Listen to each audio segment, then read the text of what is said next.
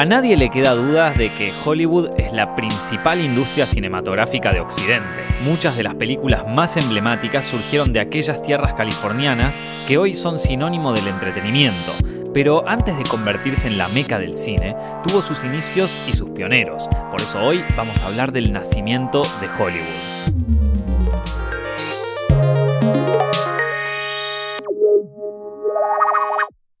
A comienzos del siglo XX, el cine se había establecido en cada parte del mundo, gracias a las innovaciones de los hermanos Lumière, Méliès y otros precursores. Y no nos olvidemos de Tomás Alva Edison. De hecho, él tendría una importancia preponderante en el surgimiento de Hollywood, aunque no de la manera que más nos esperamos. Además de su carrera como prolífico inventor, Edison era un empresario implacable. Luego de crear el kinetoscopio y tras el suceso cinematográfico de Lumière, inventó el vitascopio, pero no pudo competir con el exitoso dispositivo de los hermanos franceses no obstante, Edison estaba decidido a controlar toda la actividad relacionada con el cine, especialmente en los Estados Unidos. Ya desde 1896, en aquel país de Norteamérica, empresarios de distintas áreas incursionaban en el cine como productores, formando los primeros estudios. Edison fundó Edison Co. Las otras dos compañías en sobresalir fueron Biograph, co-creada por William Dixon, un ayudante de Edison, y Vitagraph, ambas con base en Nueva York. Biograph en particular dio un paso al frente al producir las primeras películas netamente de género y también las primeras en tener una duración de más de un rollo. También surgía el Star System, con lo cual cada compañía contaba con actores exclusivos a los que moldeaban para ser estrellas. A la par, las cintas dejaban de formar parte de entretenimientos de feria y eran proyectadas en teatros especializados llamados Nickelodeons. Y sí, de ahí saca su nombre el famoso canal de nuestra infancia. Y estos fueron los precursores de las salas que hoy conocemos. Pero aquellas primeras épocas del cine carecían de reglas, lo que llevó a una serie de maniobras ilegales Productores como Edison, Biograph y Vitagraph aprovechaban la situación para distribuir a su manera las producciones que llegaban de Europa. Por ejemplo, técnicos de Edison hicieron copias falsas de Viaje a la Luna de Méliès, de modo que el mago de Montreal nunca vio un centavo de las recaudaciones que hizo en Estados Unidos. Por su parte, los Lumière cortaron lazos con toda la cinematografía de aquella parte del mundo porque ya estaban directamente hartos. Decidido a ir más allá, Edison acosaba a aquellos productores que usaran el kinetoscopio sin permiso. Fue un episodio que se conoció como la Guerra de las patentes. Los abogados y los detectives de Edison se encargaban de confiscar cámaras y películas y del allanamiento y la clausura de Nickelodeons y de estudios. Como consecuencia, muchos productores y técnicos quedaron en la ruina o debieron exiliarse. Biograph, más poderosa que la mayoría, debió pagar 500 mil dólares para poder trabajar en paz. La guerra de las patentes concluyó el 15 de diciembre de 1908 mediante un trust, es decir, una alianza entre empresas dedicadas a la misma actividad con el fin de monopolizar el rubro. Este trust se conoció como Motion Pictures Patents Company. Edison lideraba la iniciativa, de la que formaba parte las compañías Biograph, Vitagraph, SNA y Calem. También incluía a los productores William Selig, Sigmund Lubin, al distribuidor George Klein y también a Charles Pathé y a Méliès. Edison impulsó mano dura y normas estrictas como el pago de impuestos por parte de productores asociados, una modalidad que solo tuvo alcance en América ya que nunca se extendió hasta Europa.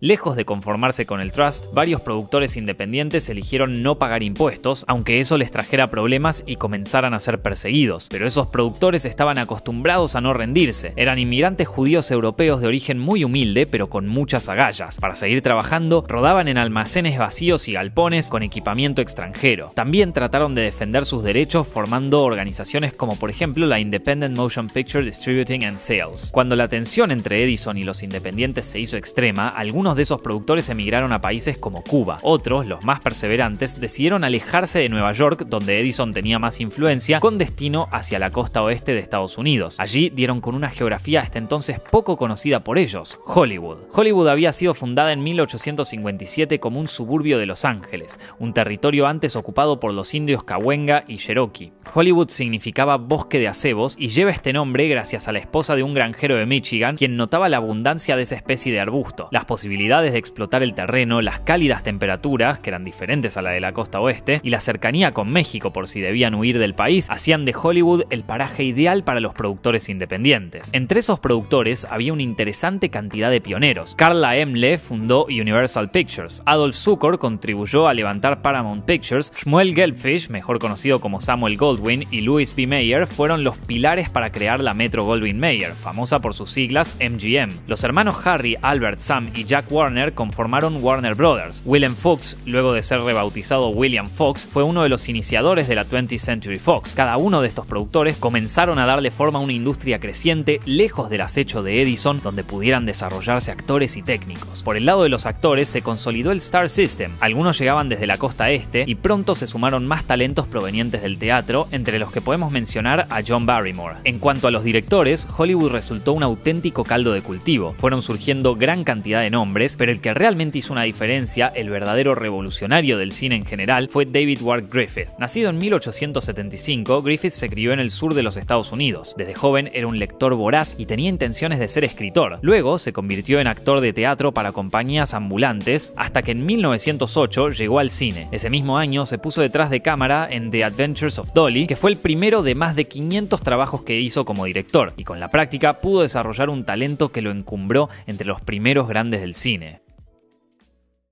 Griffith trabajó activamente para Biograph rodando cortos de uno o dos rollos y también se desempeñó en Los Ángeles. De hecho, para 1910 hizo el primer film rodado en Hollywood, el corto In Old California. También, gracias a su experiencia como actor, supo descubrir nuevos talentos que nutrieron el Star System hollywoodense. Mae Marsh, las hermanas Lillian y Dorothy Gish, el comediante Max Sennett, luego impulsor de las comedias del periodo mudo, y sobre todo Mary Pickford, la famosa novia de América. Lejos de conformarse, Griffith quería filmar películas más grandes, con más despliegue de producción, pero también más realistas, y además de mayor duración. Para Judith de Betulia, en 1914, se valió de cuatro rollos, siendo el primero en hacer un metraje tan largo en Estados Unidos. Las quejas de Biograph lo llevaron a alejarse de esa compañía y hacer su propio camino. La independencia le permitió a Griffith, entre otras cosas, elegir proyectos. Entonces dio con la novela The Clansman, de Thomas Dixon. Se trataba de un material polémico. La historia contaba la guerra de secesión que enfrentó al norte y al sur de los Estados Unidos, pero desde el punto de vista del sur. Entre otras cosas, el texto glorificaba actitudes racistas, incluyendo la formación del Ku Klux Klan. Griffith sabía lo fuerte que era ese contenido, pero lo vio como una oportunidad de impactar al público. Se asoció con Dixon y con Harry Aitken, mandamás de la compañía Mutual. A su vez, el director adaptó la novela en parte para contar la lucha entre los dos clanes de bandos opuestos. De más está decir que The Clansman, luego rebautizada El nacimiento de una nación, es una película sumamente racista y polémica incluso para la época en la que fue rodada, pero su importancia en la historia del cine en general merece ser detallada y no por nada, hasta el día de hoy se la sigue mencionando en universidades del cine en todo el mundo. Para empezar, Griffith le imprimió al guion una estructura de la novela decimonónica, pero evitando ser literario y teatral y también un mero fotógrafo. Lo suyo era crear una experiencia de puro cine. Griffith aplicó todas las técnicas que venía probando en sus trabajos previos, aunque varios de esos elementos ya habían sido fundados por otros directores, él se encargó de pulirlos y ensamblarlos, de modo que terminó de consolidar el lenguaje cinematográfico. Usó diferentes tamaños de planos en función a la narrativa, abrió y cerró el iris de la cámara para la apertura y el cierre de las secuencias, combinó el uso de la luz natural y del artificial, impulsó los claroscuros y el fuera de foco para fines dramáticos, utilizó flashbacks y bueno, prácticamente todo. Aunque uno de sus puntos fuertes residía en el montaje paralelo. Si bien Edwin S. Porter ya había comenzado a experimentar con este recurso, Griffith lo llevó a otro nivel que le permitía mostrar a un personaje en peligro y a los que se acercan para rescatarlo, generando tensión y adrenalina, un recurso hoy característico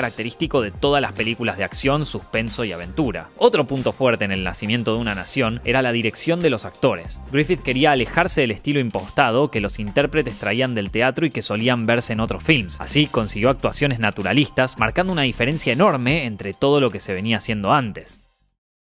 El nacimiento de una nación también fue la primera película con una duración de casi 3 horas y en contar con un presupuesto abultado, 110 mil dólares, demasiado dinero para aquella época. Al principio, los socios de Griffith estaban alarmados de la desproporción de los gastos, pero los temores desaparecieron con el estreno en febrero de 1915. Se calcula que la primera superproducción de Hollywood recaudó 20 millones de dólares. La revolución que trajo el nacimiento de una nación no se limitó a la pantalla. Hasta entonces, los medios gráficos dedicados al cine tenían un enfoque informativo, desde aquella película los periodistas empezaron a escribir sus propios pareceres y teorías con textos tanto a favor como en contra. Había nacido la crítica del cine. Además, la polémica ideología de la premisa dio pie a debates entre los espectadores. La gente y sobre todo la audiencia de color no disimuló su disconformidad por ser retratados como enemigos. La Asociación Nacional para el Progreso de Gente de Color solicitó en vano la suspensión de todas las proyecciones. Envalentonado por el suceso del nacimiento de una nación, Griffith subió la apuesta con un proyecto aún más ambicioso,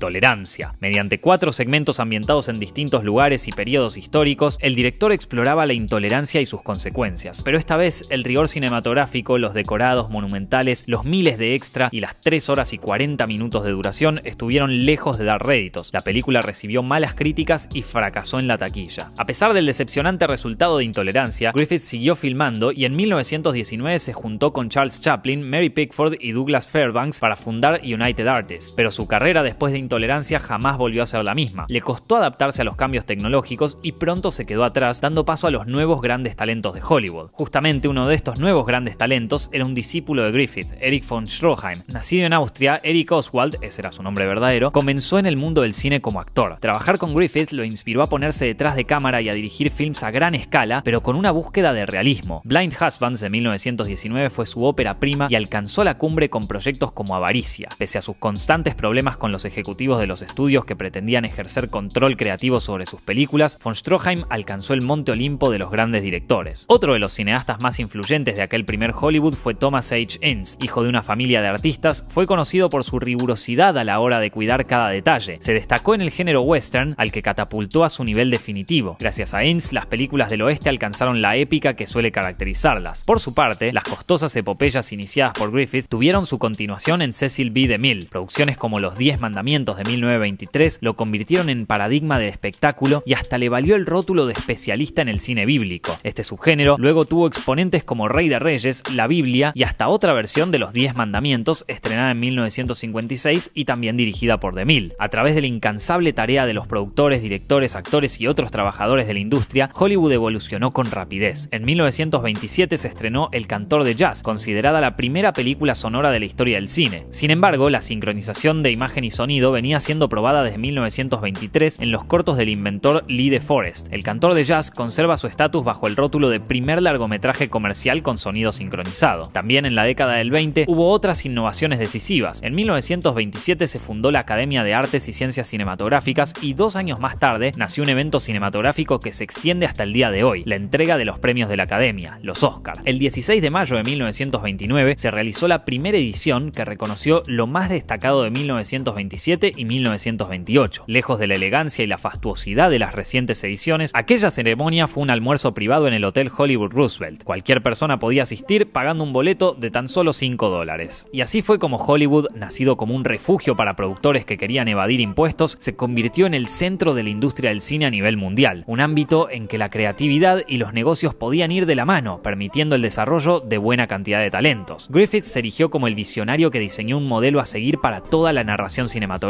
clásica. Su estilo se aprecia en films de todas las épocas y su legado se mantuvo firme a través de directores como Francis Ford Coppola, Steven Spielberg, Brian De Palma, J.J. Abrams y Christopher Nolan, entre muchos otros. Nolan parece ser un devoto del montaje paralelo que tanto aprovechó Griffith. Aparece, por ejemplo, en Batman El Caballero de la Noche, donde se destaca la secuencia del rescate a Harvey Dent. Por su parte, el amanecer de Hollywood es retratado en un sinfín de libros, programas y películas. Nickelodeon, de Peter Bogdanovich, muestra a un abogado que se convierte en guionista y director, es perseguido por la gente de Edison y triunfa en las tierras californianas. Pero la meca del séptimo arte tiene mucha más historia y gran parte de ella la estaremos cubriendo en los próximos episodios. Estos videos están hechos gracias al apoyo de nuestra gente en Patreon. Si disfrutan de este material, por favor consideren apoyarnos también en nuestra página de Patreon donde van a poder encontrar más videos exclusivos todos los meses. Mi nombre es Nicolás Amelio Ortiz y nos estamos viendo la semana que viene.